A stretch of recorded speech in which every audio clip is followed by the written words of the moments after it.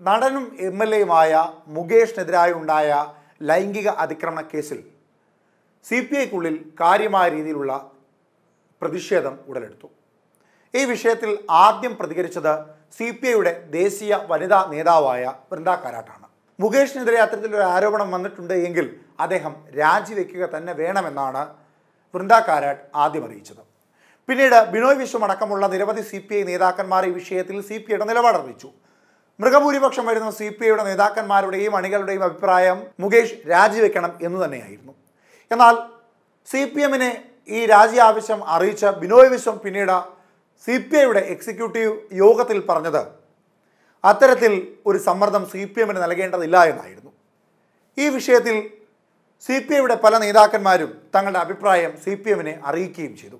അതായത് നിലവിലത്തെ സാഹചര്യത്തിൽ സി പി ഐയെ സംബന്ധിച്ചിടത്തോളം രാജിവെക്കണം മുകേഷ് എന്ന് ഒരു വിഭാഗം പറയുന്നു. ബിനോയ് വിശ്വത്തിന് മറ്റൊരു അഭിപ്രായം. സി പി എമ്മിനെ സംബന്ധിച്ച മുകേഷിന്റെ രാജി എന്ന വിഷയത്തിൽ മുകേഷിനെ കൃത്യമായ രീതിയിൽ സംരക്ഷിക്കുന്ന ഒരു നിലപാട്. ഇങ്ങനെ ഒരു വ്യക്തത ഇല്ലാത്ത രീതിയിലേക്ക് ഈ വിഷയം മുൻപോട്ട് പോകുന്ന സാഹചര്യത്തിലാണ് വൃന്ദ കാരട്ട് സമൂഹ മാധ്യമങ്ങളിലൂടെ തന്റെ നിലപാട് ഒരു പ്രസ്താവനയായി അറിയിച്ചത്. അതിന്റെ മലയാള തർജിമ രൂപം നമുക്ക് കാണാം. ഒൻപത് ഖണ്ഡികകളായി തിരിച്ചിട്ടുള്ള ഈ പ്രസ്താവനയിലെ എട്ടാമത്തെ ഖണ്ഡികയിലാണ് വൃന്ദ ചില കാര്യങ്ങൾ വളരെ പ്രാധാന്യത്തോടുകൂടി പറഞ്ഞിട്ടുള്ളത്. അതിനാണ് ഏറ്റവും ശ്രദ്ധ നൽകേണ്ടത്. വൃന്ദ തന്റെ എതിർപ്പ് സി പി എമ്മിന്റെ നിലപാടിനുള്ള എതിർപ്പ് വളരെ കൃത്യമായാണ് ഇവിടെ അറിയിച്ചിരിക്കുന്നത്. എന്തുകൊണ്ട് മുകേഷ് രാജിവെക്കുന്നില്ല എന്ന പ്രതിപക്ഷ പാർട്ടികൾ ഒന്നടക്കം ചോദിച്ചപ്പോൾ സി പി എം പറഞ്ഞ ആരോപണം എൽദോസ് കുന്നപ്പള്ളിയും വിൻസെന്റ് എം എൽ എയും അടക്കമുള്ള നിരവധി എം എൽ എമാർക്കെതിരെ ശക്തമായ രീതിയിലുള്ള ആരോപണങ്ങൾ ഉണ്ടായിട്ടും ജയിലിലടക്കപ്പെട്ടിട്ടും എന്തുകൊണ്ട് അവർ രാജിവെച്ചില്ല? അതുകൊണ്ട് മുകേഷ് രാജിവെക്കേണ്ട ആവശ്യമില്ല എന്ന് സി പി എം പറയുമ്പോൾ കൃത്യമായ നിലപാടാണ് സി പി ഐയുടെ ദേശീയ വനിതാ നേതാവായ വൃന്ദ കാരാട്ട് വ്യക്തമാക്കുന്നത്. ആ എട്ടാമത്തെ ഖണ്ഡികയിൽ പറയുന്നതിന്റെ മലയാള തർജിമ രൂപം ഇങ്ങനെയാണ്. നമ്മൾ ഒരു വഴിതിരിച്ചു വിടലിലേക്ക് കടക്കരുത്. നിങ്ങൾ ഇത് ചെയ്തു ഞാൻ അത് ചെയ്തു. ഒരുതരം ഉപയോഗശൂന്യമായ വാദമാണ് ഇത്. എല്ലായിടത്തും സ്ത്രീകൾക്ക് സുരക്ഷിതമായ അന്തരീക്ഷം പ്രദാനം ചെയ്യുന്നതിലാണ് ശ്രദ്ധ കേന്ദ്രീകരിക്കേണ്ടത്. ഹേമ കമ്മിറ്റി റിപ്പോർട്ടിന്റെ പശ്ചാത്തലത്തിൽ സിനിമാ വ്യവസായത്തിൽ നീതിക്ക് വേണ്ടിയുള്ള ധീരമായ പോരാട്ടത്തിൽ സർക്കാരും സമൂഹവും തങ്ങൾക്കൊപ്പമുണ്ടെന്ന ആത്മവിശ്വാസം സ്ത്രീകൾക്കുണ്ടാകണം. വ്യക്തിഗത ഇടത്തിന്റെയും ശാരീരിക സമഗ്രതയുടെയും സംരക്ഷണത്തിന് പുറമേ ഇത് വ്യാവസായത്തിനുള്ള തുല്യ അവകാശങ്ങളും അർത്ഥമാക്കുന്നുണ്ട്. ഇതിന് എല്ലാ പങ്കാളികളുടെയും പങ്കാളിത്തം ആവശ്യമാണ്. അതായത് കോൺഗ്രസിലെ എം എൽ എമാർ രാജിവെച്ചില്ല. അതുകൊണ്ട് ഇടതുപക്ഷ എം എൽ എ രാജിവെക്കേണ്ട ആവശ്യമില്ല എന്ന് പറയുന്ന രീതി ശരിയല്ല. ധാർമ്മികപരമായി മുകേഷ് രാജിവെക്കേണ്ടതായുണ്ട്. അദ്ദേഹം രാജിവെക്കുക തന്നെ ചെയ്യണമെന്നാണ് വൃന്ദ കാരാട്ട് വ്യക്തമാക്കുന്നത്. ഇനി വൃന്ദ കാരാട്ടിന്റെ ആ പ്രസ്താവനയുടെ പൂർണരൂപം മലയാള തർജിമ ഒന്ന് നോക്കാം. ഹേമ കമ്മിറ്റി റിപ്പോർട്ടിന്റെ പശ്ചാത്തലത്തിൽ കേരളത്തിലെ ചലച്ചിത്ര മേഖലയിൽ ഇപ്പോഴുണ്ടായ പ്രക്ഷോഭവും ഇളക്കവും ഇന്ത്യക്കാകെ ശ്രദ്ധേയമായ ഉദാഹരണമാണ്. കൊൽക്കത്ത തമിഴ്നാട് തുടങ്ങിയ വിവിധ കേന്ദ്രങ്ങളിലെ നിരവധി വനിതാ കലാകാരന്മാർ. എന്തുകൊണ്ടാണ് ഹേമ കമ്മിറ്റി പോലുള്ള സമിതികൾ മറ്റ് സംസ്ഥാനങ്ങളിൽ രൂപീകരിക്കാത്തതെന്ന ചോദ്യം ഉന്നയിച്ചിട്ടുണ്ട്. ഇത് നിയമാനുസൃതമായ ചോദ്യമാണ്. ബോംബെയിൽ തുടങ്ങി സിനിമാ മേഖലയിലെ സ്ത്രീ ചൂഷണം പരസ്യമായ രഹസ്യമാണ്. എന്നാൽ വ്യാവസായത്തിനുള്ള അധികാര ഘടകങ്ങൾ സ്ത്രീകളുടെ ശബ്ദം നിശബ്ദമാക്കുന്നു. വ്യവസായ രംഗത്തെ സ്ത്രീകൾ വനിതാ സിനിമാ കളക്റ്റീവ് രൂപീകരിച്ച ഏക സംസ്ഥാനമാണ് കേരളം. ശക്തനായ ഒരു നടൻ തട്ടിക്കൊണ്ടുപോയി ബലാത്സംഗം ചെയ്തതിന്റെ ദുരന്ത പശ്ചാത്തലത്തിലാണ് കളക്റ്റീവ് രൂപീകരിച്ചത്.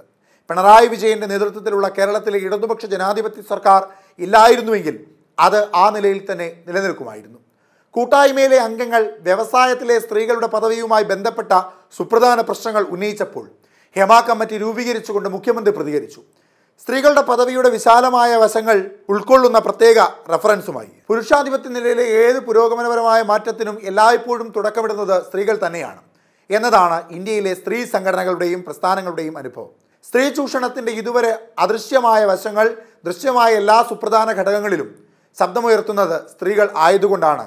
സ്ത്രീകളോട് അനുഭാവം പുലർത്തുകയും അവരുടെ ശബ്ദം കേൾക്കുകയും ചെയ്യുന്ന ഒരു സർക്കാർ ഉണ്ടായാൽ പ്രസ്ഥാനത്തിന് വലിയ ഉത്തേജകം ലഭിക്കുന്നത്. പുരുഷാധിപത്യ പുരുഷ മേധാവിത്വത്തിനെതിരായ പോരാട്ടത്തിൽ ആത്മാർത്ഥമായി പ്രതിജ്ഞാബദ്ധരായ രാഷ്ട്രീയ ശക്തികളുമായുള്ള സ്ത്രീ പ്രസ്ഥാനങ്ങളുടെ കൂട്ടുകെട്ടാണ് മാറ്റമുറപ്പാക്കുവാൻ കഴിയുന്ന ഒരു ഘടകം. സാമൂഹ്യ മാറ്റത്തിനായുള്ള സ്ത്രീകളുടെ പോരാട്ടത്തിന്റെ ഏറ്റവും ഉറച്ച സഖ്യകക്ഷിയാണ് ഇടതുപക്ഷ ശക്തികൾ എന്നത് നിഷേധിക്കാനാവാത്ത വസ്തുതയാണ്. ചൂഷണത്തിനെതിരായി സ്ത്രീകളുടെ പോരാട്ടത്തെ പ്രതിരോധിക്കുവാനും സംരക്ഷിക്കുവാനും മുന്നോട്ട് കൊണ്ടുപോകുവാനുള്ള ഇടതുപക്ഷത്തിന്റെ ഈ പ്രതിബദ്ധതയുടെ പ്രതിഫലനമാണ് ഹേമ കമ്മിറ്റി രൂപീകരണവും തുടർന്ന് എസ് ഐ ടിയും ഇപ്പോഴത്തെ പ്രക്ഷോഭവും. വ്യാപകമായ ലൈംഗിക ചൂഷണം എന്ന് വിശേഷിപ്പിച്ച കാര്യങ്ങളിൽ ഹേമ കമ്മിറ്റി വെളിച്ചം വീശിയിട്ടുണ്ട്. കൂടാതെ ഏറ്റവും സുരക്ഷിതമല്ലാത്തതും അന്യായവുമായ തൊഴിൽ സാഹചര്യങ്ങളിൽ പലപ്പോഴും വിശ്രമമുറി പോലും ലഭിക്കാത്ത കാരവാനുകളില്ലാതെ ജോലി ചെയ്യുന്ന സ്ത്രീ കലാകാരന്മാരോടും വ്യവസായത്തിലെ മറ്റു തൊഴിലുകളുള്ളവരോടും തികച്ചും ചൂഷണാത്മക സ്വഭാവവും അനീതിയും ഇത് കാണിക്കുന്നു. ജോലി ചെയ്യുന്ന വിവിധ വിഭാഗങ്ങളെ പ്രതികരിക്കുന്ന നിരവധി അസോസിയേഷനുകളുടെയും യൂണിയനുകളുടെയും അസ്തിത്വവും ഇവിടെ ചോദ്യം ചെയ്യപ്പെടുന്നുണ്ട്.